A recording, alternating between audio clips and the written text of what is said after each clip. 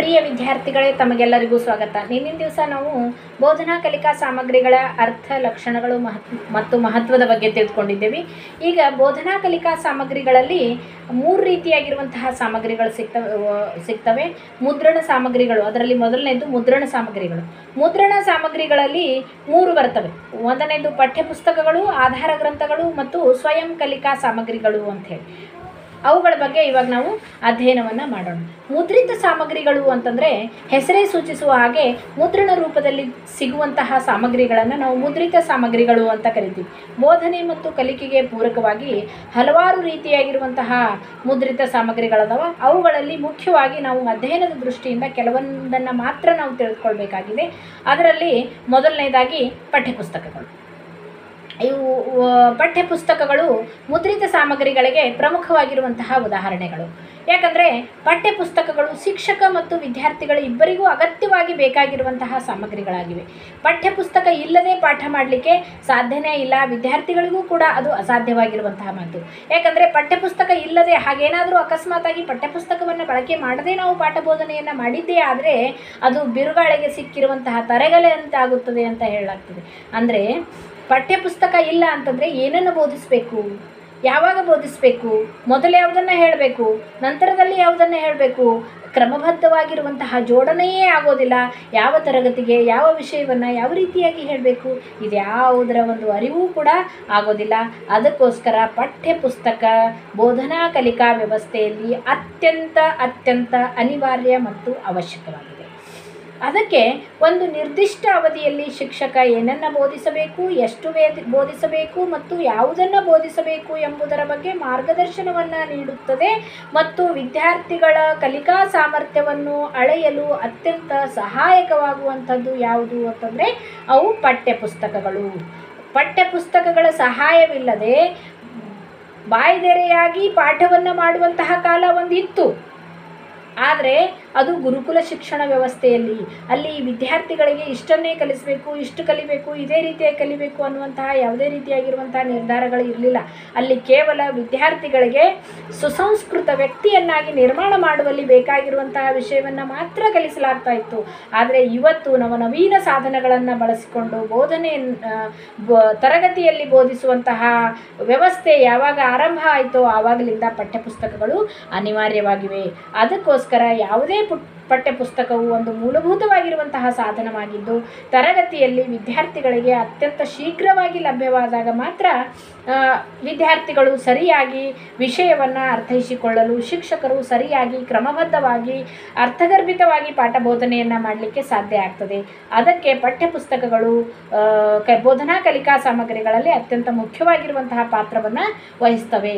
ಹಾಗಾದರೆ ಪಠ್ಯಪುಸ್ತಕಗಳ ಅರ್ಥ ಏನು ಅನ್ನೋದನ್ನು ನಾವು ನೋಡೋಣ. ಒಂದು ನಿರ್ದಿಷ್ಟ ಹಂತದಲ್ಲಿ ಕಲಿಯುವ ಮಕ್ಕಳ ಆಸಕ್ತಿ, ಅಭಿರುಚಿ ಮತ್ತು ವಯೋಮಾನಕ್ಕನುಗುಣವಾಗಿ ರಚಿಸುವ ವಿಷಯ ವಸ್ತುವೇ ಪಠ್ಯಪುಸ್ತಕ ಅಂತ ಹೇಳಲಾಗ್ತದೆ. ಒಂದು ನಿರ್ದಿಷ್ಟ ಹಂತದಲ್ಲಿ, ಅಂದರೆ ಅದು ಒಂದನೇ ತರಗತಿನೋ, ಹತ್ತನೇ ತರಗತಿನೋ, ಹನ್ನೆರಡನೇ ತರಗತಿನೋ, ಎಂಟನೇ ತರಗತಿನೋ, ಆ ಒಂದು ಹಂತಕ್ಕೆ ಬೇಕಾಗಿರುವಂತಹ ಆ ಒಂದು ಹಂತದ ವಿದ್ಯಾರ್ಥಿಗಳ ಆಸಕ್ತಿಯನ್ನು, ಅಭಿರುಚಿಯನ್ನು, ಅವರ ವಯಸ್ಸಿನ ಬುದ್ಧಿ ಮಟ್ಟವನ್ನು ಆಧಾರವಾಗಿಟ್ಟುಕೊಂಡು ರಚಿಸಿರುವಂತಹ ವಿಷಯ ವಸ್ತುವನ್ನು ಒಳಗೊಂಡಿರುವಂತಹ ಒಂದು ಹೊತ್ತಿಗೆ ಏನದಲ್ಲ, ಒಂದು ವಿಷಯಗಳ ಕಟ್ಟು, ವಿಷಯಗಳ ಗುಂಪು ಏನದಲ್ಲ, ಅದಕ್ಕೆ ನಾವೇನಂತ ಕರಿತೀವಿ ಅಂತಂದರೆ ಪಠ್ಯಪುಸ್ತಕ ಅಂತ ಕರಿತೀವಿ. ಇನ್ನೊಂದು ಹೇಳಲಾಗ್ತದೆ ಅನುಭವಿ ವ್ಯಕ್ತಿಗಳಿಂದ ದೇಶ, ಭಾಷೆ, ಸಾಹಿತ್ಯ, ಸಂಸ್ಕೃತಿ, ಆಚಾರ, ವಿಚಾರ, ಮೌಲ್ಯಗಳು ಇತ್ಯಾದಿಗಳನ್ನೊಳಗೊಂಡ ಅಂಶಗಳ ಹಿನ್ನೆಲೆಯಲ್ಲಿ ರಚಿಸುವ ಹೊತ್ತಿಗೆಯೇ ಪಠ್ಯಪುಸ್ತಕ. ಅನುಭವಿ ವ್ಯಕ್ತಿಗಳಿಂದ, ಅಂದರೆ ಅದರಲ್ಲಿ ಎಕ್ಸ್ಪರ್ಟ್ ಆಗಿರುವಂತಹ ವ್ಯಕ್ತಿಗಳಿಂದ, ಅಂದರೆ ಯಾವ ವಿದ್ಯಾರ್ಥಿಗೆ, ಯಾವ ತರಗತಿಗೆ, ಯಾವ ವಿಷಯವನ್ನು ಒದಗಿಸಿದರೆ ಸೂಕ್ತ ಅನ್ನುವ ಅನುಭವವನ್ನು ಹೊಂದಿರುವಂತಹ ವ್ಯಕ್ತಿಗಳಿಂದ. ಅದಕ್ಕೋಸ್ಕರನೇ ಪಠ್ಯಪುಸ್ತಕ ಸಮಿತಿ ಅಂತ ನಮ್ಮ ಸರ್ಕಾರದವರು ನೇಮಕ ಮಾಡಿರ್ತಾರೆ, ಎನ್ ಸಿ ಆರ್ ಟಿ ಅವರು, ಪಠ್ಯಪುಸ್ತಕ ಸಮಿತಿ ಅಂತ. ಅವರೆಲ್ಲ ಯಾರಿರ್ತಾರೆ ಅಂತಂದರೆ ಅನುಭವಸ್ಥ ಶಿಕ್ಷಕರುಗಳು ಮತ್ತು N sir N C E R ಟಿಯ ಮುಖ್ಯಸ್ಥರುಗಳು ಇರ್ತಾರೆ.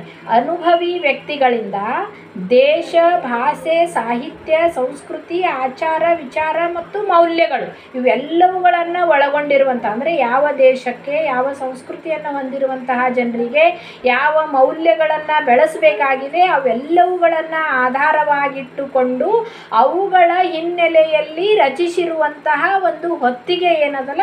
ಅದಕ್ಕೆ ನಾವೇನಂತ ಕರಿತೀವಿ ಅಂತಂದರೆ ಪಠ್ಯಪುಸ್ತಕ ಅಂತ ಕರಿತೀವಿ.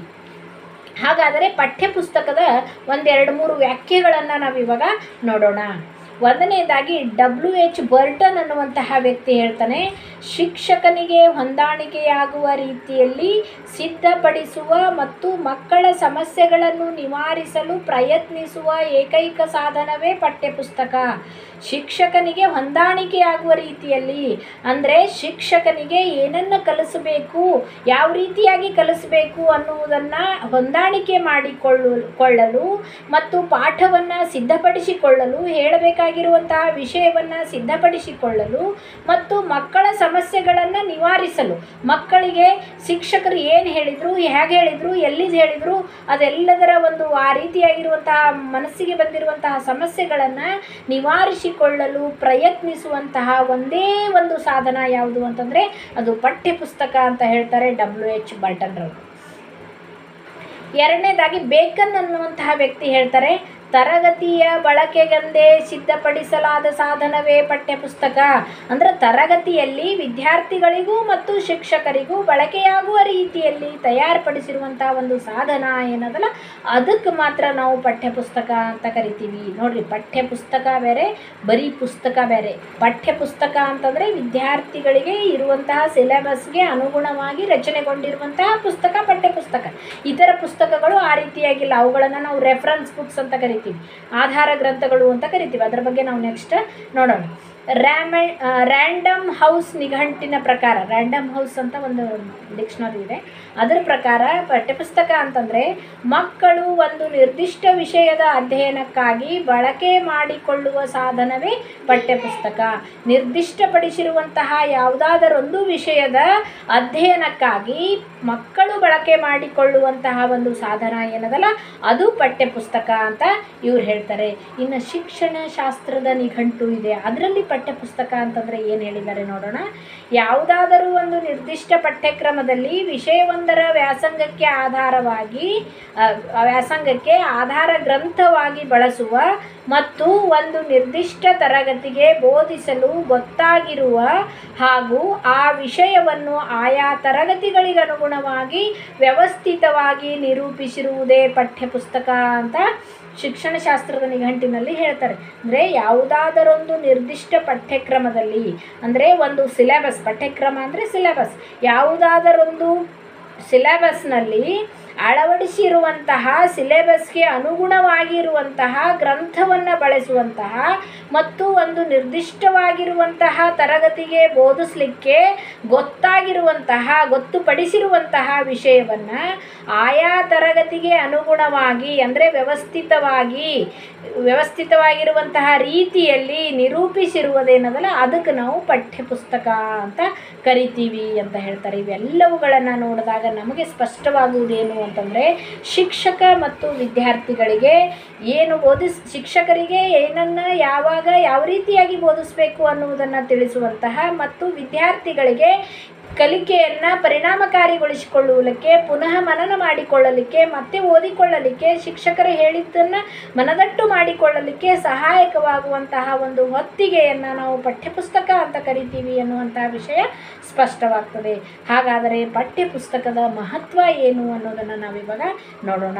ಇಷ್ಟೆಲ್ಲ ವಿಷಯವನ್ನು ಒಳಗೊಂಡಿರುವಂತಹ ಪಠ್ಯಪುಸ್ತಕ ಮಹತ್ವಪೂರ್ಣವಾಗಿರುವುದರಲ್ಲಿ ಯಾವುದೇ ಸಂಶಯವಿಲ್ಲ. ಯಾಕಂದರೆ ಒಂದು ಶಿಕ್ಷಣ, ಗುಣಮಟ್ಟದ ಶಿಕ್ಷಣ ಆಗುವಲ್ಲಿ ಪಠ್ಯಪುಸ್ತಕ ಅತ್ಯಂತ ಮಹತ್ವಪೂರ್ಣವಾಗಿರುವಂತಹ ಪಾತ್ರವನ್ನು ವಹಿಸ್ತದೆ. ಯಾಕ, ಯಾವುದೇ ಒಂದು ಪಠ್ಯಪುಸ್ತಕಗಳು ಶಿಕ್ಷಕ ಮತ್ತು ವಿದ್ಯಾರ್ಥಿಗಳ ಓದುವ ಹವ್ಯಾಸವನ್ನು ಬೆಳೆಸಬಲ್ಲದು ವಿಷಯ ಸಂಪತ್ತನ್ನು ಅಧಿಕ ಮಾಡ್ತದೆ, ವಿರಾಮ ಕಾಲದ ಜೀವನವನ್ನು ಸದುಪಯೋಗಗೊಳಿಸಿಕೊಳ್ಳುವುದಕ್ಕೆ ಸಹಾಯ ಮಾಡ್ತದೆ. ಇಂತಹ ಒಂದು ಪಠ್ಯಪುಸ್ತಕದ ಮಹತ್ವವನ್ನು ಒಂದೊಂದಾಗಿ ನಾವು ನೋಡೋಣ.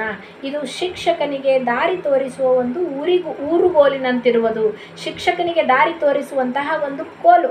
ಅಜ್ಜಾಗ ಅಜ್ಜಿಗಳು ಕೋಲು ಹಿಡ್ಕೊಂಡು ಹೋಗ್ತಾರೆ ನೋಡ್ರಿ, ನಡಿಲಿಕ್ಕೆ ಬ್ಯಾಲೆನ್ಸ್ ಆಗದೇ ಇರುವಂತಹ ಸಂದರ್ಭದಲ್ಲಿ. ಹಾಗೆ ಶಿಕ್ಷಕನಿಗೆ ಹೇಗೆ ಹೋಗಬೇಕು ಅನ್ನುವ ನಿಲ್ಲಲಿಕ್ಕೆ, ತಿರುಗಾಡಲಿಕ್ಕೆ, ಅಂದರೆ ಆ ರೀತಿಯಾಗಿರುವಂತಹ ಮಾರ್ಗದಲ್ಲಿ ಹೋಗಲಿಕ್ಕೆ, ಈ ವಿಷಯದ ಮಾರ್ಗದಲ್ಲಿ ಹೋಗಲಿಕ್ಕೆ ಬ್ಯಾಲೆನ್ಸ್ ಆಗದೇ ಇರುವಂತಹ ಸಂದರ್ಭದಲ್ಲಿ ಒಂದು ಊರುಗೋಲಿನ ರೀತಿಯಲ್ಲಿ ಶಿಕ್ಷಕನಿಗೆ ಸಹಾಯ ಮಾಡುವಂತಹ ಕೆಲಸವನ್ನು ಪಠ್ಯಪುಸ್ತಕ ಮಾಡ್ತದೆ. ಶಿಕ್ಷಕನಿಗೆ ಬೋಧನೆಗೆ ಬೇಕಾದ ಪೂರ್ವಸಿದ್ಧತೆ ಮಾಡಿಕೊಳ್ಳಲು ಇದು ನೆರವಾಗುತ್ತದೆ. ಪಠ್ಯಪುಸ್ತಕದಲ್ಲಿರುವಂತಹ ವಿಷಯ ಗೊತ್ತಾದಾಗ ಮಾತ್ರ ಶಿಕ್ಷಕರು ಇನ್ನು ಬೇಕಾದರೆ ಆಧಾರ ಗ್ರಂಥಗಳನ್ನು ಬಳಸಿಕೊಂಡು ಅದಕ್ಕೆ ಬೇಕಾಗಿರುವಂಥ ಇನ್ನಿತರ ಜ್ಞಾನವನ್ನು ಸಂಪಾದನೆ ಮಾಡ್ಕೋಬಹುದು. ಆದರೆ ಮೊದಲು ಏನನ್ನು ಬೋಧಿಸಬೇಕು ಅಂತ ಪೂರ್ವ ತಯಾರಿಯನ್ನು ಮಾಡ್ಕೋಬೇಕಾಗಿತ್ತು. ಅಂದರೆ ಒಂದು ವಿಷಯದ ಚೌಕಟ್ಟನ್ನು ಹಾಕಿಕೊಳ್ಳೋದಕ್ಕೆ ಅದಕ್ಕೆ ಪ್ಲ್ಯಾನ್ ಮಾಡ್ಕೊಳ್ಳೋದಕ್ಕೆ ಮುಖ್ಯವಾಗಿ ಬೇಕಾಗಿರುವಂಥದ್ದು ಪಠ್ಯಪುಸ್ತಕ. ನೆಕ್ಸ್ಟ್ ತರಗತಿಗೆ ಗೈರು ಹಾಜರಾದ ವಿದ್ಯಾರ್ಥಿಗಳಿಗೆ ಅಂದು ಬೋಧಿಸಿದ ಪಾಠವನ್ನು ಪುನರಾವರ್ತಿಸಿಕೊಳ್ಳಲು ನೆರವಾಗುತ್ತದೆ. ಯಾವುದೋ ಒಂದು ಕಾರಣದಿಂದ, ವೈಯಕ್ತಿಕ ಕಾರಣದಿಂದ ಯಾವುದೋ ವಿದ್ಯಾರ್ಥಿ ಕ್ಲಾಸಿಗೆ ಬರಲಿಲ್ಲ. ಆವತ್ತು ಹೇಳಿರುವಂತಹ ವಿಷಯವನ್ನು ಅವರು ಓದಿ ಆದ್ರೂ ಅದನ್ನು ಈ ವಿಷಯವನ್ನು ಹೇಳಲಾಗಿದೆ ಅನ್ನೋದನ್ನು ಅರ್ಥ ಮಾಡಿಕೊಳ್ಳಲಿಕ್ಕೆ ಸಹಾಯ ಮಾಡಿರುವಂಥ ಮಾಡುವಂಥ ಮುಖ್ಯವಾಗಿರುವಂಥ ಸಾಧನ ಯಾವುದು ಅಂತಂದರೆ ಅದು ಪಠ್ಯಪುಸ್ತಕ ಮಾತ್ರ. ಶಿಕ್ಷಕರು ನೀಡಿದ ಗೃಹ ಕಾರ್ಯವನ್ನು ಪೂರೈಸಲು ಸಹಾಯ ಮಾಡುವುದು. ಶಿಕ್ಷಕರು ಹೋಮ್ವರ್ಕ್ ಕೊಟ್ಟಿರ್ತಾರೆ. ಹೋಮ್ವರ್ಕ್ ಕೊಟ್ಟಿರುವಂತಹ ಸಂದರ್ಭದಲ್ಲಿ ಅವುಗಳನ್ನು ಮಾಡಿಕೊಂಡು ಬರಬೇಕಾಗಿತ್ತು ಅಂತಂದರೆ ವಿದ್ಯಾರ್ಥಿಗಳಿಗೆ ಯಾವ ವಿಷಯ ಅನ್ನುವುದು ಬೇಕಾನೆ ಹಾಂ ಉದಾಹರಣೆಗಾಗಿ ಇವಾಗ ಮ್ಯಾಥ್ಸ್ ಇದೆ. ಅಥವಾ ಕನ್ನಡ ಪ್ರಶ್ನೋತ್ತರಗಳನ್ನು ಬರ್ಕೊಂಡು ಬರೋದಕ್ಕೆ ಹೇಳಿದ್ದಾರೆ. ವಿಜ್ಞಾನದಲ್ಲಿ ಒಂದು ಚಿತ್ರವನ್ನು ತೆಗೆದುಕೊಂಡು ಬರೋದಕ್ಕೆ ಹೇಳಿದ್ದಾರೆ. ಅದರದ್ದು ಮಾಡೆಲಲ್ಲಿ ಇತ್ತು ಅಂತಂದರೆ ಅದನ್ನು ನೋಡಿಕೊಂಡು ವಿದ್ಯಾರ್ಥಿಗಳು ಆ ಒಂದು ವರ್ಕನ್ನು ಮಾಡ್ಕೊಂಡು ಬರಲಿಕ್ಕೆ ಸಾಧ್ಯ ಆಗ್ತದೆ. ಅದಕ್ಕೆ ಪಠ್ಯಪುಸ್ತಕ ಅತ್ಯಂತ ಮಹತ್ವವನ್ನು ಪಡ್ಕೊಂಡಿದೆ. ಆಯಾ ಪಾಠಕ್ಕೆ ಸಂಬಂಧಿಸಿದ ಚಟುವಟಿಕೆಗಳನ್ನು ಕೈಗೊಳ್ಳಲು ನೆರವಾಗುವುದು. ಆಯಾ ಪಾಠಕ್ಕೆ ಸಂಬಂಧಪಟ್ಟ ಹಾಗೆ ಏನು ಚಟುವಟಿಕೆಗಳ ಕೊಟ್ಟಿರ್ತಾರೋ, ಯಾವ ಪ್ರಶ್ನೋತ್ತರಗಳದಾವೋ, ಚಟುವಟಿಕೆಗಳದಾವೋ, ಅಭ್ಯಾಸ ಇದೆಯೋ ಅದೆಲ್ಲವನ್ನು ಕೈಗೊಳ್ಳೋದಕ್ಕೆ ಅತ್ಯಂತ ಸಹಾಯವನ್ನು ಪಠ್ಯಪುಸ್ತಕಗಳು ಮಾಡ್ತವೆ. ಶಿಕ್ಷಕ ಮತ್ತು ವಿದ್ಯಾರ್ಥಿಗಳಲ್ಲಿ ಸ್ವಯಂ ಅಧ್ಯಯನಕ್ಕೆ ಉತ್ತೇಜಿ, ಉತ್ತೇಜಿಸುತ್ತದೆ. ಶಿಕ್ಷಕರು ಮತ್ತು ವಿದ್ಯಾರ್ಥಿಗಳು ಸ್ವತಃ ಓದಲಿಕ್ಕೆ, ಅಧ್ಯಯನ ಮಾಡಲಿಕ್ಕೆ ಪ್ರೋತ್ಸಾಹವನ್ನು ನೀಡುವಂತಹ ಕೆಲಸವನ್ನು ಕೂಡ ಪಠ್ಯಪುಸ್ತಕಗಳು ಮಾಡ್ತವೆ. ವಿಷಯ ಜ್ಞಾನ, ಗುಣಗ್ರಹಣ, ಅರ್ಥಗ್ರಹಣ ಮತ್ತು ಅಭಿವ್ಯಕ್ತಿ ಸಾಮರ್ಥ್ಯವನ್ನು ಬೆಳೆಸ್ತದೆ. ಮಕ್ಕಳಲ್ಲಿ ಮತ್ತು ಶಿಕ್ಷಕರಲ್ಲಿ ವಿಷಯದ ಜ್ಞಾನವನ್ನು ಬೆಳೆಸುವಂತಹ ಕೆಲಸವನ್ನು ಮಾಡ್ತದೆ. ಗುಣವನ್ನು ಗ್ರಹಣ ಮಾಡಿಕೊಳ್ಳೋ, ಅಂದರೆ ಅದರಲ್ಲಿ ಅಡಗಿರುವಂತಹ ಗುಣ ಏನು? ಆ ಗುಣವಾಚಕ ಅಂತ ನಾವು ಕರಿತೀವಿ ನೋಡ್ರಿ ಗ್ರಾಮರಲ್ಲಿ, ಕನ್ನಡ ಗ್ರಾಮರಲ್ಲಿ. ಅಂದರೆ ಗುಣವನ್ನು ಗ್ರಹಿಸಿಕೊಳ್ಳುವಂತಹ ಸಾಮರ್ಥ್ಯ ಅರ್ಥವನ್ನು ಗ್ರಹಿಸಿಕೊಳ್ಳುವಂಥ ಸಾಮರ್ಥ್ಯ. ಯಾಕಂದರೆ ಒಂದ್ಸಲ ಶಿಕ್ಷಕ ಹೇಳಿದಾಗ ತಿಳಿದೇ ಇರ್ಬೋದು. ಅರ್ಥ ಆಗಿರ್ತದೆ ಬಟ್ ಅದು ಮರೆತು ಹೋಗ್ಬಿಡ್ತದೆ ಅದನ್ನು ಇನ್ನೊಂದು ಸಲ ವಿದ್ಯಾರ್ಥಿಗಳು ಓದಿದ್ರು ಅಂತಂದರೆ ಆವಾಗ ಅದು ಮನದಟ್ಟಾಗ್ತದೆ. ಅದರ ಅರ್ಥ ಮನದಾಳದಲ್ಲಿ ಸೇರ್ಕೊಳ್ತದೆ. ಮತ್ತು ಅಭಿವ್ಯಕ್ತಿ ಸಾಮರ್ಥ್ಯ ಹೇಳಿದ್ದನ್ನು, ತಿಳ್ಕೊಂಡಿದ್ದನ್ನು, ಅರ್ಥೈಸಿಕೊಂಡಿದ್ದನ್ನು ವ್ಯಕ್ತಪಡಿಸುವಂತಹ ಸಾಮರ್ಥ್ಯವನ್ನು ಅಭಿವ್ಯಕ್ತಿ ಸಾಮರ್ಥ್ಯ ಅಂತ ಕರಿತೀವಿ. ಆ ಸಾಮರ್ಥ್ಯವನ್ನು ಕೂಡ ಯಾವುದು ಬಳಸ್ತದೆ ಅಂದರೆ ಪಠ್ಯಪುಸ್ತಕ ಬಳಸ್ತದೆ. ನೆಕ್ಸ್ಟ್ ತಮ್ಮ ಭಾಷೆಯಲ್ಲಿ ಪರಸ್ಪರರು ಸಂಭಾಷಿಸಲು ನೆರವಾಗುವುದು. ಪಠ್ಯಪುಸ್ತಕವನ್ನು ಓದಿ ಅರ್ಥೈಸಿಕೊಂಡ ಮೇಲೆ ವಿದ್ಯಾರ್ಥಿ ಅಕಸ್ಮಾತ್ ಆ ಪಠ್ಯಪುಸ್ತಕದ ಭಾಷೆ ಎಲ್ಲಿ ಇಲ್ಲ, ಮಾತನಾಡ್ತಾ ಇಲ್ಲ, ಅವನ ಮಾತೃಭಾಷೆ ಬೇರೆ ಇದ್ದರೂ ಕೂಡ ತಮ್ಮ ಭಾಷೆಯಲ್ಲಿ ಅದನ್ನು ಸಂಭಾಷಣೆ ಮಾಡಲಿಕ್ಕೂ ಕೂಡ ಅದು ಅನುಕೂಲತೆಯನ್ನು ಒದಗಿಸಿಕೊಡ್ತದೆ. ಮಕ್ಕಳಲ್ಲಿರುವಂತಹ ಸೃಜನಶೀಲತೆಯನ್ನು ಹೊರತರ್ತದೆ ಮಕ್ಕಳಲ್ಲಿ ಹಲವಾರು ರೀತಿಯಾಗಿರುವಂತಹ ಸೃಜನ, ಚಟುವಟಿಕೆಗಳು ಅಡಗಿರ್ತವೆ. ಅವರಲ್ಲಿ ಸೃಜನಶೀಲತೆ ಅನ್ನುವಂಥದ್ದು ಮನೆ ಮಾಡಿರ್ತದೆ. ಆದರೆ ಅದು ಹೊರಗೆ ಬರ್ತಾ ಇರ, ಇರೋದಿಲ್ಲ. ಅಂತಹ ಸಂದರ್ಭದಲ್ಲಿ ಅದನ್ನು ಹೊರವತೆ ಎಳೆಯುವಲ್ಲಿ ಶಿಕ್ಷಕನೂ ಕೂಡ ಸಹಾಯ ಮಾಡ್ತಾನೆ. ಅದರ ಜೊತೆ ಜೊತೆಗೆ ಪಠ್ಯಪುಸ್ತಕಗಳು ಕೂಡ ಅತ್ಯಂತ ಮಹತ್ವಪೂರ್ಣವಾಗಿರುವಂತಹ ಪಾತ್ರವನ್ನು ವಹಿಸ್ತವೆ ಕ್ರಮಬದ್ಧ ಕಲಿಕೆಗೆ ದಾರಿ ಮಾಡಿಕೊಡುತ್ತದೆ. ಇದು ಬಹಳ ಪಠ್ಯ ಪುಸ್ತಕದಲ್ಲಿ ಅತ್ಯಂತ ಮಹತ್ವಪೂರ್ಣವಾಗಿರುವಂಥದ್ದು. ಯಾಕಂದರೆ ಕ್ರಮಬದ್ಧವಾಗಿ ಕಲಿತಾ ಹೋಗಬೇಕು, ಹಂತ ಹಂತವಾಗಿ ಕಲಿತಾ ಹೋಗಬೇಕು. ಉದಾಹರಣೆಗಾಗಿ ನಾವು ಇವಾಗ ಪಠ್ಯಪುಸ್ತಕದ ಬಗ್ಗೆನೇ ಅಧ್ಯಯನ ಮಾಡ್ತಿದ್ದೀವಿ ಅಂತಂದರೆ, ಮೊದಲು ಪಠ್ಯಪುಸ್ತಕ ಅಂದರೆ ಏನು, ಅದರ ಅರ್ಥ ಏನು, ಅದರ ವ್ಯಾಖ್ಯೆಗಳನ್ನು ಯಾವ ರೀತಿಯಾಗಿ ಹೇಳಿದ್ದಾರೆ, ಆಮೇಲೆ ಮಹತ್ವ, ಅದರ ಗುಣಲಕ್ಷಣಗಳು, ಹೀಗೆ ಹಂತ ಹಂತವಾಗಿ ಕ್ರಮಬದ್ಧವಾಗಿ ಅಧ್ಯಯನ ಮಾಡಲಿಕ್ಕೆ ಹಚ್ಚೋದು ಯಾವುದು? ಪಠ್ಯಪುಸ್ತಕ. ಅದು ಇರಲಿಲ್ಲ ಅಂತಂದರೆ ಒಮ್ಮೆ ಮಹತ್ವ ನೋಡಿಕೊಂಡು ಆಮೇಲೆ ಅರ್ಥ ಓದಿದರೆ ಅದಕ್ಕೆ ಯಾವುದೇ ರೀತಿಯಾಗಿರುವಂತಹ ಉಪಯೋಗ ಇರೋದಿಲ್ಲ. ಅದಕ್ಕೋಸ್ಕರ ಕ್ರಮಬದ್ಧವಾಗಿರುವಂತಹ ಕಲಿಕೆಗೆ ಯಾವುದು ದಾರಿ ಮಾಡಿಕೊಡ್ತದೆ ಅಂದರೆ ಅದು ಕೇವಲ ಪಠ್ಯಪುಸ್ತಕ ಮಾತ್ರ. ಪ್ರಶ್ನೆ ಪತ್ರಿಕೆ ತಯಾರಿಕೆಗೆ ನೆರವಾಗುವುದು. ಶಿಕ್ಷಕ ಏನೇನೋ ಹೇಳ್ತಾ ಬಂದ, ಪಠ್ಯಪುಸ್ತಕ ಇಲ್ಲ. ಹಾಗೆ ಶಿಕ್ಷಕರು ಪಾಠ ಮಾಡ್ತಾ ಬಂದರು. ಆಮೇಲೆ ಹೇಳಿದ್ದು ಯಾವುದು ಅನ್ನುವುದರ ಸಂಪೂರ್ಣವಾಗಿರುವಂತಹ ನೆನಪೇ ಶಿಕ್ಷಕರಿಗಿರೋದಿಲ್ಲ. ಪಠ್ಯಪುಸ್ತಕ ಇತ್ತು ಅಂತಂದರೆ ಅದಕ್ಕೆ ಅನುಗುಣವಾಗಿ, ಸಿಲೆಬಸ್ಗೆ ಅನುಗುಣವಾಗಿ ವಿದ್ಯಾರ್ಥಿಗಳು ಮುಂದೆ ಹೋಗಲಿಕ್ಕೆ, ಅಂದರೆ ಅವರನ್ನು ಉನ್ನತಿಗೊಳಿಸಲಿಕ್ಕೆ ಸಹಾಯಕವಾಗುವಂತಹ ರೀತಿಯಲ್ಲಿ ಪ್ರಶ್ನೆ ಪತ್ರಿಕೆ ತಯಾರು ಮಾಡಲಿಕ್ಕೆ ಕೂಡ ಪಠ್ಯಪುಸ್ತಕ ಸಹಾಯವನ್ನು ಮಾಡ್ತದೆ. ವ್ಯಕ್ತಿತ್ವ ವಿಕಸನಕ್ಕೆ ದಾರಿ ಮಾಡಿಕೊಳ್ಳುತ್ತದೆ ವಿದ್ಯಾರ್ಥಿಗಳ ವ್ಯಕ್ತಿತ್ವವನ್ನು ಉತ್ತೇಜನಗೊಳಿಸುವಂತಹ ಕೆಲಸವನ್ನು ಕೂಡ ಪಠ್ಯಪುಸ್ತಕ ಮಾಡುತ್ತದೆ. ವ್ಯಕ್ತಿಯ ನಡೆ ನುಡಿಗಳಲ್ಲಿ ಬದಲಾವಣೆ ತರುವುದು. ಶ್, ವಿದ್ಯಾರ್ಥಿಗಳ ನಡೆ ಮತ್ತು ನುಡಿ, ಅಂದರೆ ನಡೆದಂತೆ ನುಡಿಯಬೇಕು, ಇದೇ ಜನ್ಮ ಕಡೆ ಅಂಥೇಳಿ ಜ್ಞಾನಿಗಳು ಹೇಳಿದ್ದಾರೆ. ಅಂದರೆ ನಡೆದಂತೆ ನುಡಿ, ನುಡಿದಂತೆ ನಡೆ, ನಡೆದಂತೆ ನುಡಿ, ನುಡಿದಂತೆ ನಡೆ. ಅಂದರೆ ನಾವು ಏನು ಮಾತಾಡ್ತೀವೋ ಹಾಗೇ ಇರಬೇಕು. ಹಾಗೆ ಪಠ್ಯಪುಸ್ತಕ ಏನು ಮಾಡ್ತವೆ ಅಂತಂದರೆ ಹೇಳಿದ್ದನ್ನು ಅರ್ಥೈಸುವಂತಹ ಕೆಲಸವನ್ನು ಮಾಡ್ತವೆ, ಓದಿದ್ದನ್ನು ಅರ್ಥೈಸಿಕೊಳ್ಳುವಂತಹ, ಅರ್ಥೈಸಿಕೊಂಡ ಹಾಗೆ ನಡೆದುಕೊಳ್ಳುವಂತಹ ರೀತಿಯಲ್ಲಿ ವಿದ್ಯಾರ್ಥಿಗಳನ್ನು ಬದಲಾವಣೆ ಮಾಡುವಂತಹ ಕೆಲಸವನ್ನು ಯಾವ ಮಾಡ್ತವೆ ಅಂತಂದರೆ ಪಠ್ಯಪುಸ್ತಕಗಳು ಮಾಡ್ತವೆ.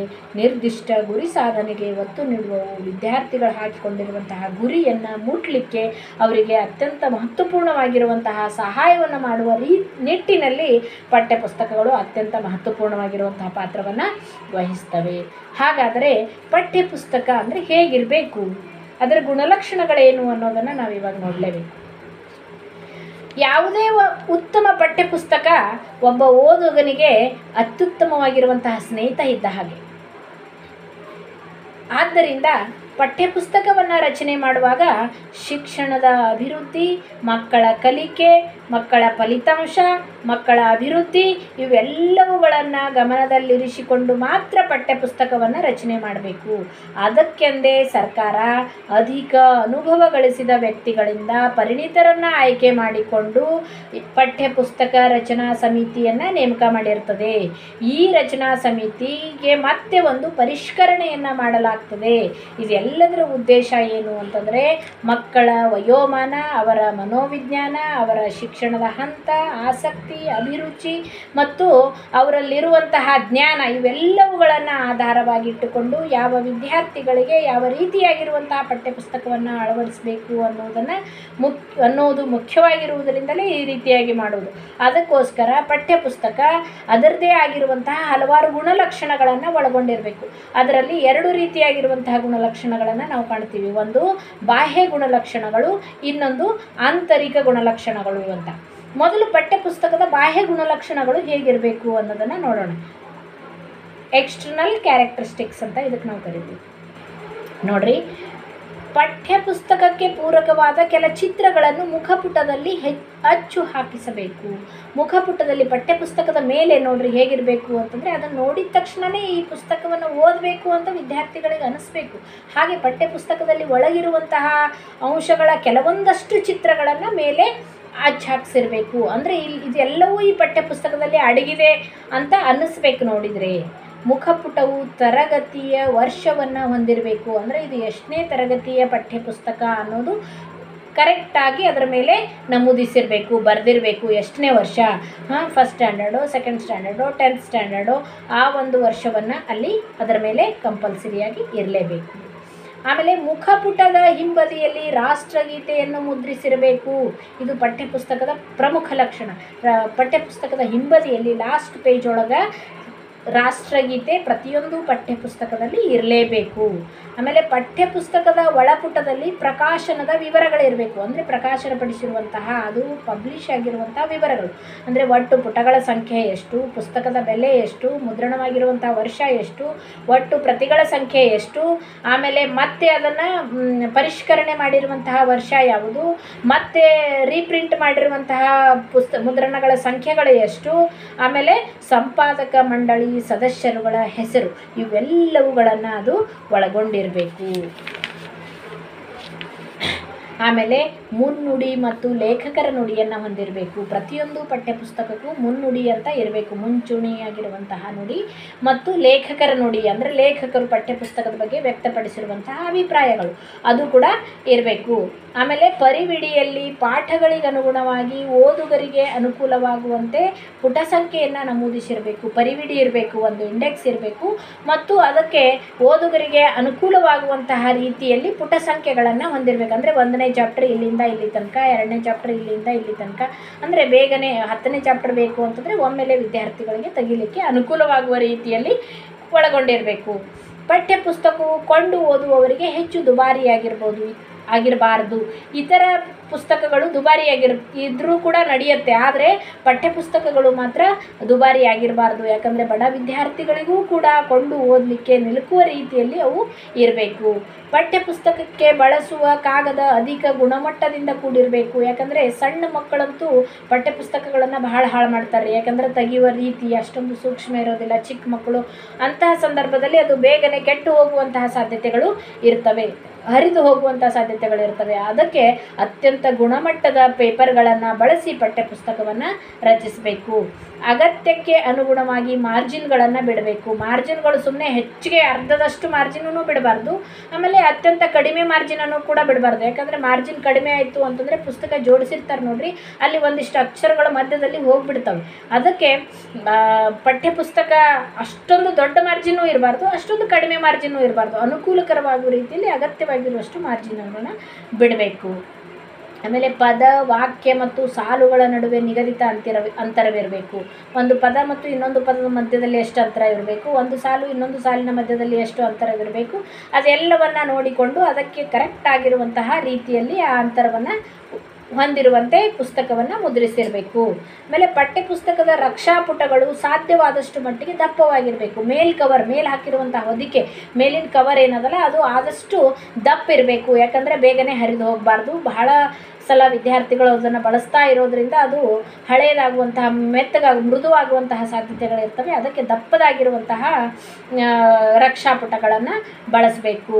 ಪಠ್ಯಪುಸ್ತಕದ ಕೊನೆಯಲ್ಲಿ ಆಧಾರ ಗ್ರಂಥಗಳ ಪಟ್ಟಿಯನ್ನು ನಮೂದಿಸಿರಬೇಕು. ಕಂಪಲ್ಸರಿಯಾಗಿ ಈ ಪಠ್ಯಪುಸ್ತಕವನ್ನು ಬರೀಲಿಕ್ಕೆ ಯಾವ್ಯಾವ ಗ್ರಂಥಗಳನ್ನು ಬಳಕೆ ಮಾಡಿಕೊಂಡಿವಿ ಅನ್ನೋದನ್ನು ಕೂಡ ಕೊನೆಯ ಪುಟದಲ್ಲಿ ನಮೂದು ಮಾಡಿರಬೇಕು.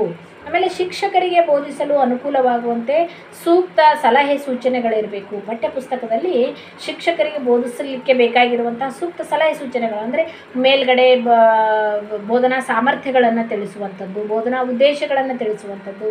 ಈ ರೀತಿಯಾಗಿ ಶಿಕ್ಷಕರಿಗೆ ಅನುಕೂಲವಾಗುವ ರೀತಿಯಲ್ಲಿ ಸಲಹೆ ಸೂಚನೆಗಳನ್ನು ಅಲ್ಲಿ ಕೊಟ್ಟಿರಬೇಕು. ಆಮೇಲೆ ಪಠ್ಯಪುಸ್ತಕದ ಹಿಂದಿನ ರಕ್ಷಾಪುಟದಲ್ಲಿ ನಾಡು ನುಡಿ ಕಲೆ ಮತ್ತು ವಾಸ್ತುಶಿಲ್ಪಕ್ಕೆ ಸಂಬಂಧಿಸಿದಂತಹ ಚಿತ್ರವನ್ನು ಅಚ್ಚು ಹಾಕಿಸಿರಬೇಕು ಹಿಂದಿನ ಪುಟದೊಳಗೆ ನಮ್ಮ ನಾಡು, ನಮ್ಮ ಸಂಸ್ಕೃತಿ, ನಮ್ಮ ಆಚಾರ ವಿಚಾರವನ್ನು ಬಿಂಬಿಸುವಂತಹ, ಅದನ್ನು ಅಭಿವೃದ್ಧಿಪಡಿಸುವಂತಹ ಚಿತ್ರಗಳನ್ನು ಅಚ್ಚು ಹಾಕಿಸಿರಬೇಕು. ಯಾಕಂದರೆ ನಮ್ಮದು ಸುಸಂಸ್ಕೃತವಾಗಿರುವಂತಹ ದೇಶ, ಇಂತಹ ಸುಸಂಸ್ಕೃತವಾಗಿರುವಂತಹ ದೇಶದಲ್ಲಿ ಮಕ್ಕಳಲ್ಲಿಯೂ ಕೂಡ ಆ ಸಂಸ್ಕೃತಿಯನ್ನು ಬೆಳೆಸಬೇಕಾಗಿರುವಂಥದ್ದು ಅತಿ ಅವಶ್ಯಕವಾಗಿದೆ. ಅದಕ್ಕೋಸ್ಕರ ನಮ್ಮ ನಾಡು ನುಡಿಯ ಬಗ್ಗೆ, ನಮ್ಮ ಸಂಸ್ಕೃತಿಯ ಬಗ್ಗೆ, ನಮ್ಮ ವಾಸ್ತುಶಿಲ್ಪದ ಬಗ್ಗೆ ಮಕ್ಕಳಿಗೆ ಚಿತ್ರ ನೋಡಿನೇ ತಿಳ್ಕೊಳ್ಳೋದಕ್ಕೆ ಸಾಧ್ಯ ಇದೆ. ನಾನು ಹಿಂದಿನ ಕ್ಲಾಸ್ನಲ್ಲಿ ಹೇಳಿದ್ದೀನಿ ಒಂದು ಚಿತ್ರ ಒಂದು ಸಾವಿರ ಪದಗಳಿಗಿಂತಲೂ ಹೆಚ್ಚು ಪ್ರಮುಖವಾಗಿರುವಂಥದ್ದು ಅಂತ. ಅದಕ್ಕೆ ಚಿತ್ರಪಟಗಳನ್ನು ಪುಸ್ತಕದ ಹಿಂಬದಿಯಲ್ಲಿ ಅಚ್ಚು ಹಾಕಿಸಿದರೆ ಅದು ಮಕ್ಕಳ ಮನಸ್ಸಿನ ಮೇಲೆ ಅತ್ಯಂತ ಮಹತ್ವಪೂರ್ಣವಾಗಿರುವಂಥ ಪಾತ್ರವನ್ನು ವಹಿಸ್ತದೆ. ಆಮೇಲೆ ಮುಖಪುಟ ತುಂಬ ಆಕರ್ಷಕವಾಗಿರಬೇಕು. ಮೇನ್ ಪೇಜ್ ಏನಿದೆಯಲ್ಲ, ಇದು ಬಹಳ ಮೇಲ್ ಮುಖ್ಯವಾಗಿರುವಂತಹ ಪುಟ ಆಕರ್ಷಣೀಯವಾಗಿರಬೇಕು, ಸ್ವಲ್ಪ ಕಲರ್ಫುಲ್ ಇರಬೇಕು. ಅದರಲ್ಲೂ ಚಿಕ್ಕ ಮಕ್ಕಳ ಪುಸ್ತಕ, ಪಠ್ಯ ಪುಸ್ತಕಗಳಿಗಂತೂ ಅತ್ಯಂತ ಆಕರ್ಷಕವಾಗಿರಬೇಕು. ಅಂದಾಗ ಮಾತ್ರ ಮಕ್ಕಳು ಓದುವಲ್ಲಿ ಮನಸ್ಸನ್ನು ಮಾಡ್ತಾರೆ. ಪಠ್ಯ ಪುಸ್ತಕದ ಗಾತ್ರ ಹಿತಮಿತವಾಗಿರಬೇಕು. ಭಾಳ ದೊಡ್ಡದು ಇರಬಾರ್ದು, ಅತ್ಯಂತ ಚಿಕ್ಕದು ಇರಬಾರ್ದು. ಆ ವಿದ್ಯಾರ್ಥಿಗೆ ಓದಲಿಕ್ಕೆ ಎಷ್ಟು ಸಾಧ್ಯನೋ ಅಷ್ಟು ಅನುಕೂಲಕರವಾಗುವ ರೀತಿಯಲ್ಲಿ ಪಠ್ಯಪುಸ್ತಕದ ಗಾತ್ರ ಇರಬೇಕು ಆಮೇಲೆ ಎಲ್ಲಿಯೂ ಮುದ್ರಣ ದೋಷಗಳಿರಬಾರ್ದು. ಯಾಕಂದರೆ ಅಕ್ಷರ ದೋಷ ಸಂಪೂರ್ಣವಾಗಿ ಅರ್ಥ ವ್ಯತ್ಯಾಸವನ್ನು ಮಾಡುವಂತಹ ಸಾಧ್ಯತೆಗಳು ಇರ್ತವೆ. ಅದಕ್ಕೋಸ್ಕರ ಸ್ವಲ್ಪವೂ ಕೂಡ ದೋಷವಾಗದ ರೀತಿಯಲ್ಲಿ ನೋಡಿಕೊಳ್ಳಬೇಕು. ಉದಾಹರಣೆಗಾಗಿ ಒಂದು ಆಧಾರ ಸಹಿತ ವಿವರಣೆ ಅಂತ ಇದೆ. ಅದರಲ್ಲಿ ಸ ಹೋಗಿ ರ ಆಗಿತ್ತು ಅಂತಂದರೆ, ಅಂದರೆ ಸದ ಕೆಳಗಿಂದು ಪ್ರಿಂಟ್ ಆಗಿಲ್ಲ. ಸ.